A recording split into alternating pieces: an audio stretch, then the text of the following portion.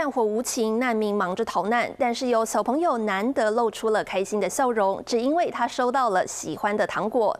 画面上您看到的排队人群都是乌克兰的难民，正在排队要等巴士。这个地点呢是在波兰的边境城市麦迪卡。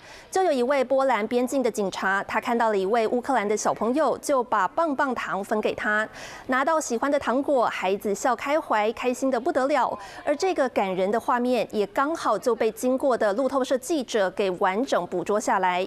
根据联合国的统计，目前是已经有两百五十万乌克兰的难民逃往了邻国，而光是在波兰这一边就接纳了一百五十万乌克兰的难民。想要获取更多新闻资讯，想要看到主播最新的动态，赶快订阅华视 YouTube 频道。